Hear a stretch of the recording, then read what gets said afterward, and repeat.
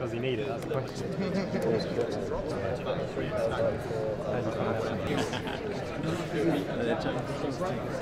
It's a whole new experience for me, and um, this is the first attempt to get it out of my sitting room into the wider world. I've got mine on, just got a chain. Is it is someone One, two, one, two, one, two. Hello, Richard. Hello. Great, lovely. Thanks, Lee. Thanks. I'm uh, expecting a lot of questions, uh, a lot of people uh, firing all sorts, uh, a bit of a grilling, I think, really. Uh, I mean, after all, people are going to be uh, giving up their hard earned cash as everyone keeps putting it. Hi, I'm Steve. I run a company in Swansea called Inspiration. I've come up here to be on the pit to have a look to see what other businesses are around, to see if it's someone I can help with a little bit and maybe develop a little bit further.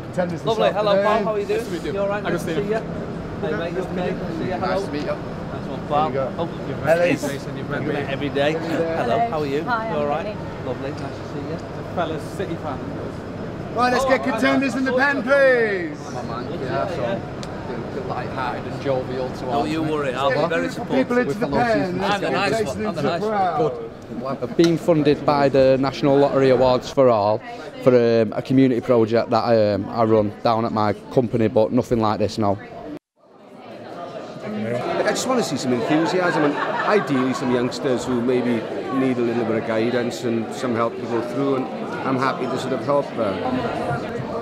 One more time and we're there. Uh, We've done it. I'm a bit nervous about this, but uh, I don't know. I hope, hope we get a good reception because um, you know it's family business, family run. Um, so I, I want that to come across. This is the first time I've gone for investment, and it's um, it's quite exciting. Finding muscles that didn't even know I had. I'm terrified, yes. Yep. It's like business speed dating. You've got 40 people, 40 smart operators in business looking at this product, and all of us are going, oh, right? These guys are geniuses. Trust me, they will not have a problem getting that money today. Brad, Not we're not saying they're not geniuses. No, we're they're- not. I'm saying they're geniuses. They're just short-sighted